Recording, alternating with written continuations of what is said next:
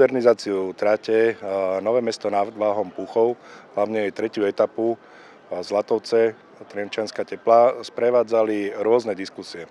Či už negatívne, alebo aj pozitívne zo strany obyvateľov mesta, zo strany médií a takisto aj zo strany stavebných spoločností.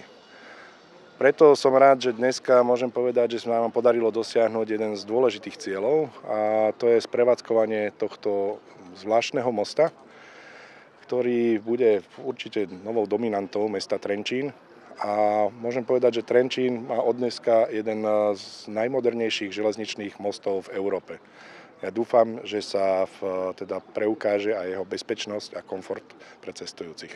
A tento most jedná sa o železobetonovou předpětou konstrukci, která obsahuje zhruba 8000 tun metru kubických betonu, 4000 tun železa. Tak ako keď človeka niečo vždy bolí a, a sa musí liečiť, alebo musí to riešiť a bolí to, e, tak, e, a potom príde úlava, tak cítim úlavu.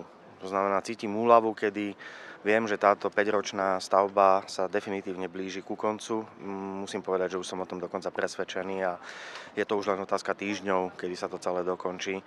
A ja som presvedčený o tom, keď sa na to celé dívam, dívam sa na most na ostrov, pozerám sa na nové parkoviska, pozerám sa na nový most železničný.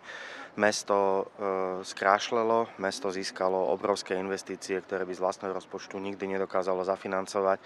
Mesto sa zatraktívnilo pre turistov do budúcnosti a cestovný ruch, z čoho chce budúcnosti Trenčín aj žiť. Takže ja som veľmi spokojný a cítim veľkú úľavu.